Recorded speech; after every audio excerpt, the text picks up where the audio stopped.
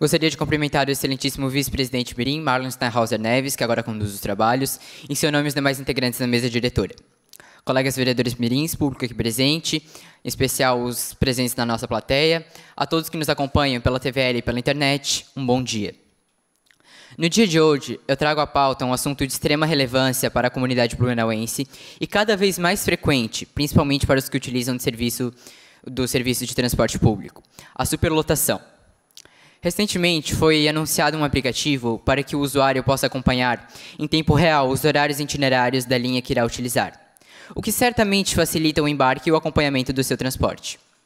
Porém, eu lhes pergunto de que adianta um aplicativo contendo tais horários se os ônibus estão sempre cheios, impossibilitando muitas vezes o embarque dos passageiros?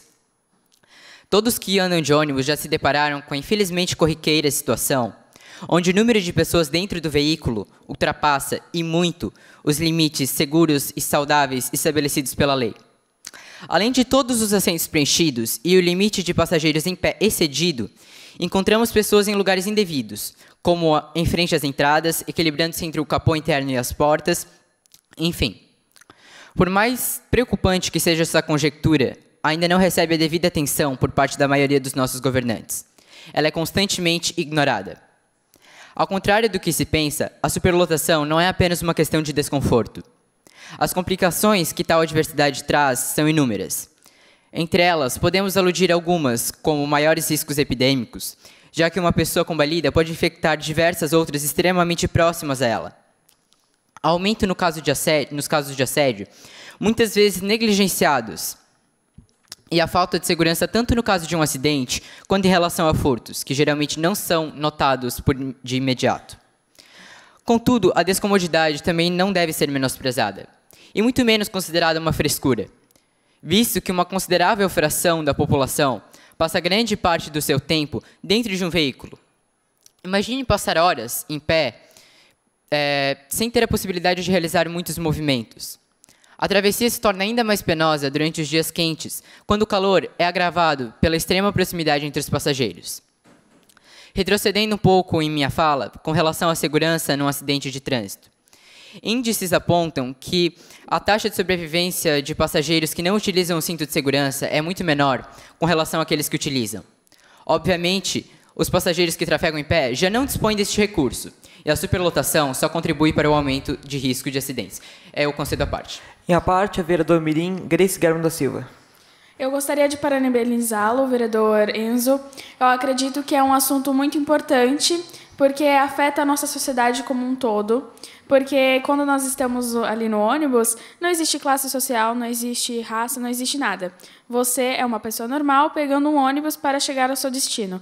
E essas, esses desconfortos, a superlotação, é uma coisa que eu enfrento quando eu ando de ônibus, eu acredito que é uma coisa muito importante de se abordar, porque passa do desconforto e se torna um problema muito sério, que às vezes as pessoas ignoram, acham que se tornou normal uma coisa que não devia ser normal. Algo anormal se tornou o natural. Então, eu acredito que é muito importante nós estarmos frisando este tema. Parabéns pela escolha.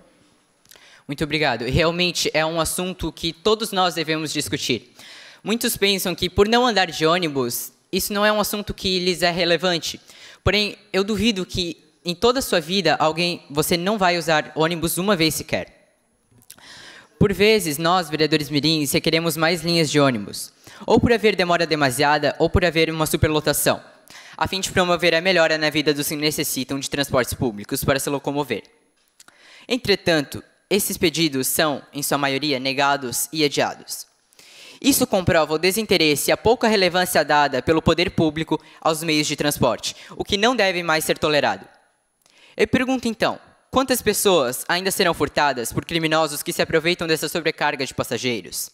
Quantos indivíduos vão sofrer com ferimentos e óbitos até que haja maior atenção aos ônibus?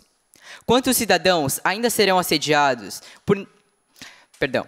Quantos cidadãos ainda serão assediados enquanto não houver melhoras significativas nos transportes públicos? Quantos idosos, idosos, senhoras grávidas e com crianças de colo terão que ficar em pé, pois o transporte público não atende às necessidades básicas na quantidade de passageiros, principalmente nos horários comerciais?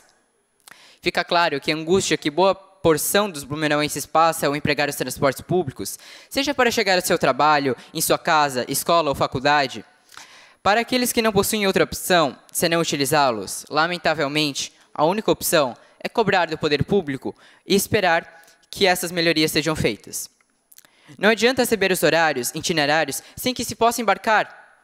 Tem que se disponibilizar mais horários para que todo cidadão, trabalhador, estudante ou apenas mesmo um usuário consiga chegar ao seu destino de uma forma digna e segura. Muito obrigado pela atenção.